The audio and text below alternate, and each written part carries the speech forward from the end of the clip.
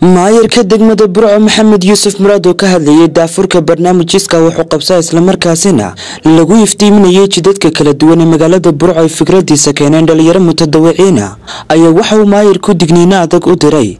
Dad iyagoo ku soo jeeda waddada halbowlaha ee magaalada burco iyo sidoo kaleeta ganacsatada. Gaadiidka xumaaday dhiga waddada hareerheeda iyo dadka qashinka dhiga intaba. Maayarka ayaa tilmaamay inay tallaabo adag ka qaadi doonaan islamarkaasina ay gebi ahaanba banayn doonaan sandaqadaha waddada hareeraheeda laga dhiso. Maayarka oo ka hadlaya arrintaasi waxauu yidhi mashruucan waa mashruuc iskaa wuxuu qabsaaho bilaabmay. Saasaanu wadayna waxaan digniin siinayna. Laamigaa wadnahee magaalada ku wareega. Dadka intay baabuurta dhigaan iskaga tegaya ama geerashada ka dhigtay. Iyo sandaqadaha yaryare magaalada laga sameeye oo ka qaadi doona. Sandaqad kaga tegi mayno magaalada gudaheeda kaga tegi waxaa isaguna mashaakila magaalada.